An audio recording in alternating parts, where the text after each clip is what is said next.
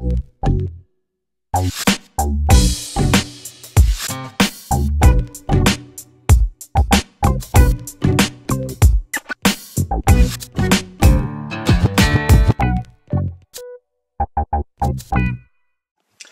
What's up guys, Ryan Knows Tech from TechCourse.com and I'm going to make this video about typing on the iPad.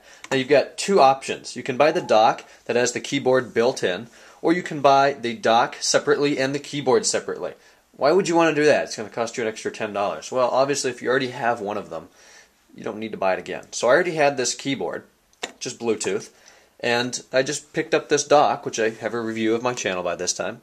Stock from the Apple Store for 30 bucks so stick that in there, and then you can connect any Bluetooth wireless keyboard to your iPad.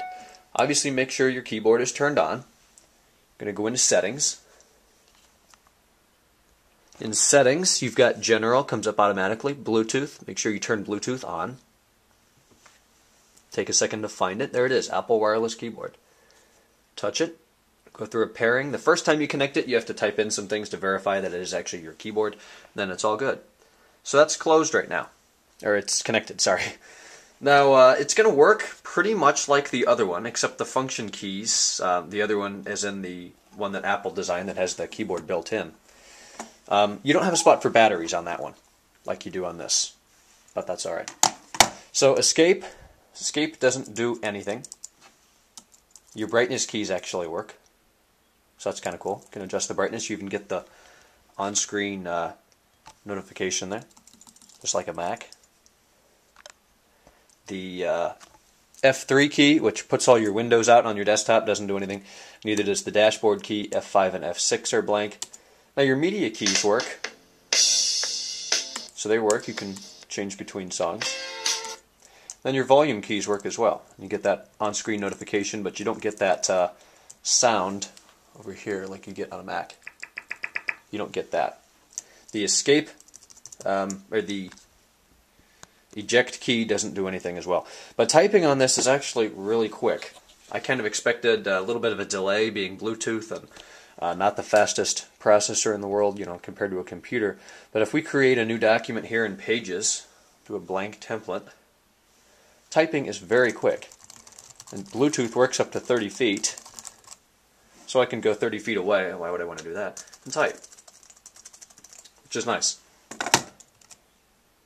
So there you go. Typing on the iPad with this keyboard is obviously just like typing on a MacBook, MacBook Pro, MacBook Air, iMac, Mac Pro, whatever Mac you've got.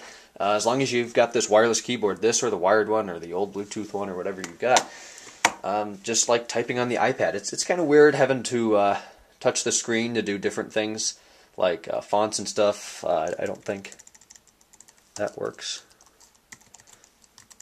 No, it doesn't. But uh, making the font bigger with the keyboard doesn't work. But it's it's really nice to be able to type like that and not have to uh, tilt it sideways and then be over. But it, it's very nice typing on here, but uh, obviously it's better when you've got physical keys that you can feel and always make sure you're on the home row. So thanks for watching this one. In conclusion, the uh, wireless keyboard works great with an iPad. I've had no problems with it. Connectivity is excellent. Uh, doesn't use much uh, power having the Bluetooth on. So definitely recommend it. I would uh, rather actually spend the $10 and and be able to be wireless if I want to have it here, you know, move it around instead of having that constant uh, angle be the same if you bought the other keyboard.